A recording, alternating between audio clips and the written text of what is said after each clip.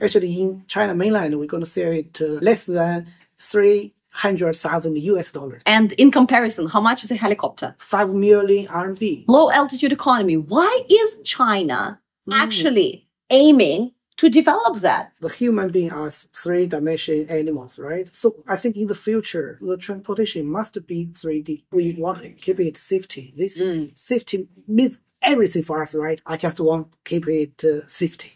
Mm. Safety is mm. the most important.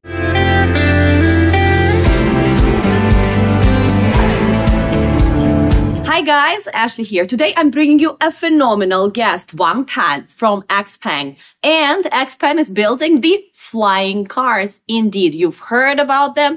You've probably even seen them. Today we're speaking with a professional on the forefront of this innovation and implementation. First of all, let me know uh, what is your vision for the flying cars, low altitude, as in China we call it economy. What does good look like in a few years from now? First, we talk about our vision. I think our vision is be the global leader for the low altitude uh, products. And uh, actually, for our company's uh, flying cars, first we're going to use our land aircraft carrier to, you know, it's the first commercial mass-produced flying car. And uh, in the future, we're going to have a second step is like the tilted rotor flying car. It's a long range and high speed. And the final vision is uh, like the three three dimension eVTOL flying car. This is the motors to the future. Yeah. Yeah. And uh, we have seen, uh, I'm going to include it in the video as well, how the land carried aircraft looks like. And a lot of people, when looking at that, they might think, what are the possible applications? Actually, we do have our application scenario. By the end of this year, we're going to build uh, 200 flight camps. You can drive the car to the camps and uh, fly it, you know. Uh, but the camps, we, we, we don't set, uh, put it into intercity. Yeah, and maybe suburban, you know, like uh, like some very beautiful view, uh, the gorgeous place, uh, gorgeous view, and uh, you can drive car there. Uh, You so you can enjoy the the gorgeous view in the air in another dimension, right? And so that's uh, basically what's uh, the scenario we can use. And how long can it actually take you up? Because you yourself, you are a licensed helicopter pilot. Yes. And as we have heard, being a helicopter pilot is actually, you know, is a difficult feat to get the license, etc. So first question, with these new technology, you don't need to do anything at all. You get in the car, inside the drone, you give it a destination, and then it lifts you up and it lands you down. That's question number one. Question number two, how long can it actually be in the air? Okay. What if it drops you at a scenic spot, Huangshan, and then you're stuck there, battery discharge, and you cannot get back to your car? That would be a disaster. Okay, okay. The second question, hmm. we cannot let this happen. First, actually, it have the you know the we, we have the fixed route and all of this loop. It will very accurate uh, calculate by the by our AI system, and we will see. We we don't want you fly go away and have no range to come back. This never happened. Uh, and for the first question, if you want just to let it fly itself, actually, this is one way. We have two ways. The first is manual. And you, you someone like me, I, I really want to enjoy fly, enjoy freedom to fly in the air. You know, this is amazing. And uh, second is someone, they don't like fly they just want to enjoy, enjoy the, enjoy the, the, the feeling, enjoy the gorgeous view.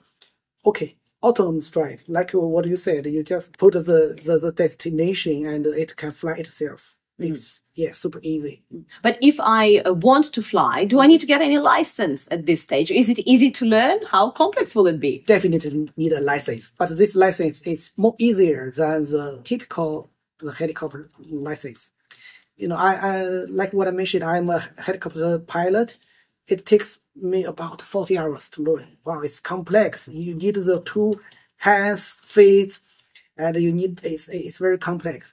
But for this, in three minutes, you can learn how to. In three minutes? Three minutes. No, 40 hours to three minutes. three minutes you learn how to pilot. But uh, if you want to get your the license, you do definitely need more hours. It's like training and pass the test. But in terms of uh, how to fly it, how to pilot it, in three minutes you can learn. Mm, Maybe later I will invite you to our company. We have a simulator. You can try. Absolutely. I, gu- I, I, guarantee that you can learn in, in three, minutes. Three minutes. In three minutes. That's a guarantee and that's a promise. Beautiful. I'm up for it. And when it comes to uh, let's say scenarios at this stage, there will primarily be some sort of camping scenarios, right? China is a country that right now is very fond of the outdoors. So primarily those camping sites will provide that opportunity. What happens with stage two? You said these are long range vehicles. And actually uh, earlier today, you've shown a picture of how it looks. It looks like a huge aircraft. Right. Because it looks like a flying car. So what, what, what will that be like? And what are the scenarios we can expect? Okay, first uh, this uh, it, it does uh, uh, airplane. Actually, it's, we call it uh, tilted rotor. It have uh, has uh, six uh, propeller setup. Uh, it also it can take off uh, vertically, and when it take off, and then it will turn. This why we call it tilted rotor, and then they can fly like a fixed wing. The capability of this uh, this aircraft can over 500 kilometers. So think about that. It can use cross the city, even cross the province. And uh, this is the scenario in the future. You can you can fly, for instance, uh, maybe fly uh, from uh, Guangzhou to Hong Kong very fast. Yeah, from from Shenzhen to Guangzhou to Zhuhai. You know, all of this can happen in the future. And also for that aircraft, the anticipation is there will be a model where it can get you to your destination without you doing a thing. And there is a scenario where you need to get a license, right? yeah. So for that aircraft also, I can just sit in and I say, Hey, I'm going from Hong Kong right now to Zhuhai and it shall be possible that it gets me there. Actually, it still need a, a pilot. Okay. Thi- This is what we yeah now we are we are designed. We need a, a, a one pilot, but with five passenger mm. take. Yeah. And how soon uh, will the second stage be possible? Um, I think it may be in the coming five years. And the first stage, so the current hybrid, uh, let's say, uh, setup, it's already a real car. It's actually already available, but not yet mass produced. Is it correct? It's not a concept. Uh, uh, no, not a concept. Not a concept. Uh, actually, we already have our ET car. Actually, we just uh, to build it and we assemble it to check. Also for the for the eVTOL for the flying module, we already test it, and uh, we're gonna sell it next year. Actually, it's not a concept. Yeah. And Concept. next, next year, we're planning to sell about 10,000 uh, pieces, uh, or uh, planning to produce about 10,000. Yeah, I mean, uh, in the first coming maybe next year, we're gonna sell a couple thousand, and uh, maybe another, you know, uh, the year after next year, maybe 2027, 2028, we're gonna sell more. And our target is annually the annually sales uh, figure is uh, like uh, 10,000. This is our target. And uh, what do you think will be the price of a craft like this? Yeah, this is um, the part you missed. the yeah, they, they asked me about this question. Actually, in China mainland, we're going to sell it uh, how to say less than three hundred thousand US dollars. And in comparison, how much is a helicopter? Wow, helicopter. Uh, actually, the normal helicopter at least uh, five million RMB. So basically nearly 800, 900,000 US Yeah. dollars. Or maybe they have another. I think they have the R two two. Uh, it's about maybe three three million RMB. It's about uh, let's see, gee, four four hundred thousand. 400,000. Four hundred 400,000. Okay. But what you get is a is, is a combo, right? You can, also you can drive daily work. You know, you can use it to drive it in the city. I mean, the, the car. Yeah, yeah. Well, it's definitely going to be a very exciting status uh, Yes. car, right? And of Yes. course, for for enthusiasts. So, at which stage are we going to get to stage 3 And stage three, guys, is when you actually have quite a futuristic looking car Yes. that looks road ready, and it has also the uh, multiple propellers at the top that are foldable. So basically, it feels and looks like a car that is air ready. Yes, right. This is motors to the future, I think, because we need to push the boundary of the, you know, the, like the battery, the powertrain system, for the aviation aircraft design, we, there's a word like dead weight. That means like, a, for instance, the, the, the, the car's wheels, big wheels, the suspension, they don't uh, get, uh, give the contribution to the, the lift power. They all dead weight, right? Uh, too much dead weight for the eVTOL flying car. But once we have, uh, you know, we, we push the boundary to, you know, we don't care this dead weight. We just want to drive on the road. Both drive on the road also can fly in the air. So we can accept this. So that's why we put it to the step three, to more to, to the future. And that will be how many years, in your professional opinion, Whoa. from now? At least 10 years. Mm. also all of us have seen those sci-fi movies right Mm-hmm. and in sci-fi movies very often a flying car doesn't actually have propellers Wow. so it somehow lifts through the power of i don't know the natural forces magnets and other mysterious mm-hmm. powers and then it flies in your professional opinion as somebody who is working in the field mm-hmm. do you think that not technology but even idea of the technology does it exist? Do we believe that at some point the, the potential flying car will be powered by something completely different versus what we have right now?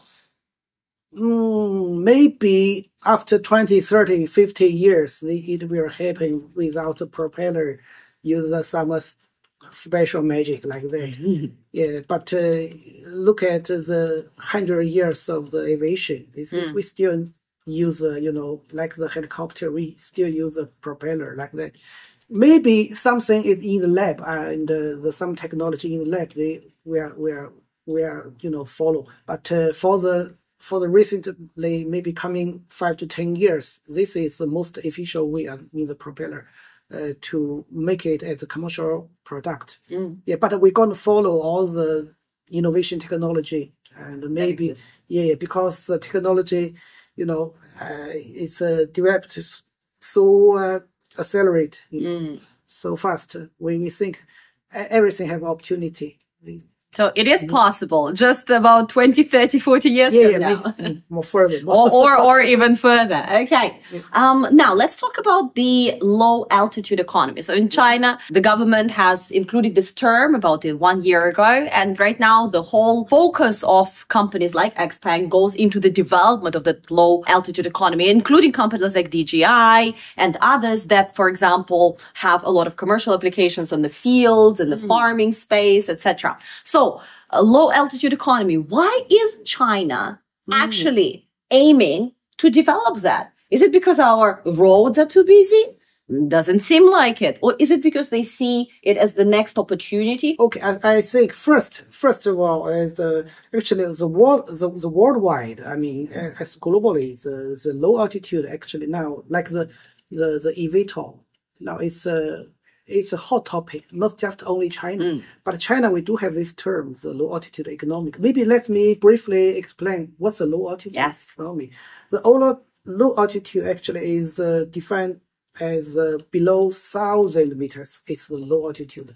All the uh, economic activities they all like such as uh, the, the passenger transport, uh, the, the cargo delivery.